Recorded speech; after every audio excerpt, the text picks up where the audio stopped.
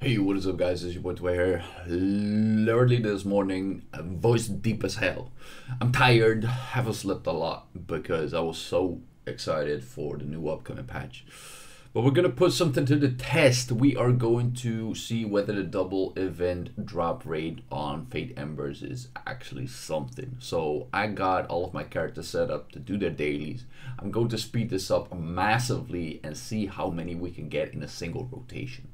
Let's get it popping.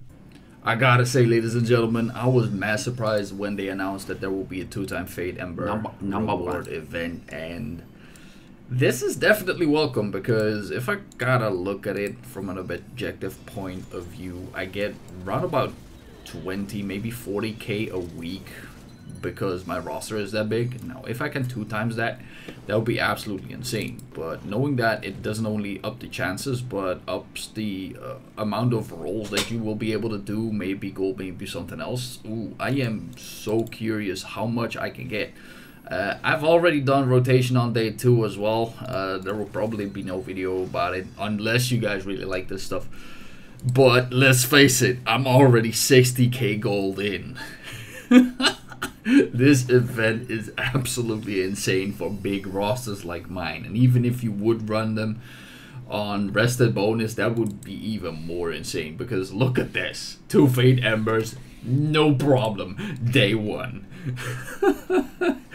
Keep it rolling, baby. And not just for the gold. Obviously, the gold is probably the most wanted thing.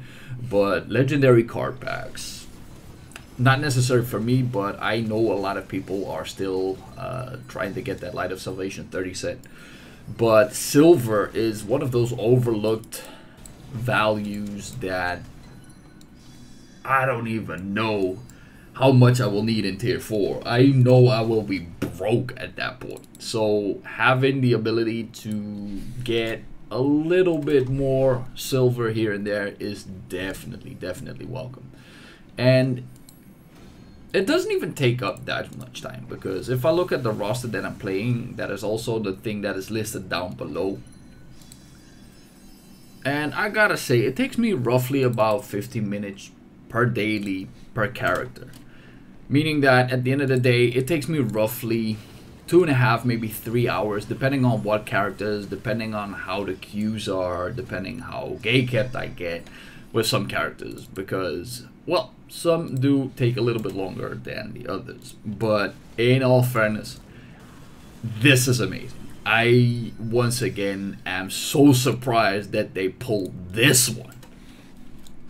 Ew. Right, so to sum it up, we are two, wait, a little over three hours in.